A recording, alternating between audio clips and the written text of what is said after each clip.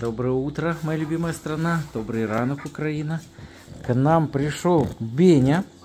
Пару дней назад у нас был Моня. Вот такая редкая порода к нам зачистила.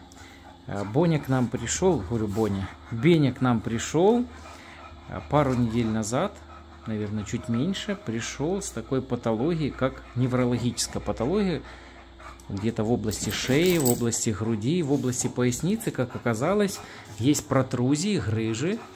Пришлось сделать компьютерный томограф и определить, что они есть. Назначить терапию, и сегодня к нам Беня пришел на повторный осмотр. Пришел без боли, без крика, потому что первый раз пришел и с болью, и с криком, и с переживанием своих владельцев, которые находятся за кадром, которых мы сейчас не показываем. А сейчас вот так уже поглаживаем и не переживаем. Поэтому решил показать вот такого красавца еще раз. Вот такой парень.